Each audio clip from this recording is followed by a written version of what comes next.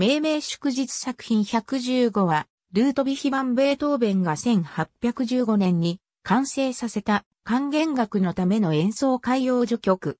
同年のクリスマスに初演され、芸術のパトロンとして知られるアントニ・ヘンリク・ラジビウエと検定された。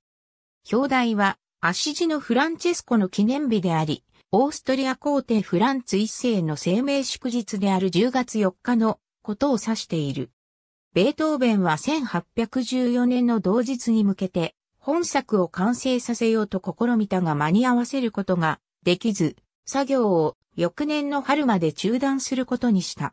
冒頭の主題は9年後に彼が公共曲第9番でフリードリヒ・フォン・シラーの歓喜の歌に付した旋律と関係している。作品番号は大きな数字であるが、作曲時期はベートーベンの中期にあたる。素材は彼が1810年から1814年にかけて書き留めていた着想を用いている。ベートーベンの後期が始まるのは1816年からであるとされることが多い。本作は今日では演奏機会に恵まれない。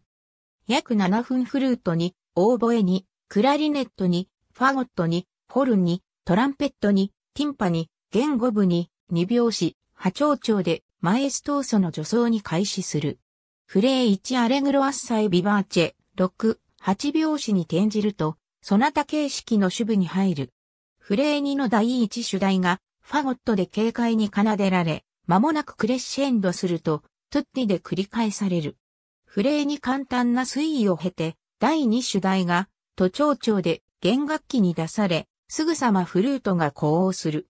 フレー3展開部は規模の大きなものではなく、続く再現部は還元落法や旋律に若干の変更を加えながらも型通りに進行する。両主題を波長調で再現すると、祝祭的なコーダによって華やかに曲を結ぶ。ありがとうございます。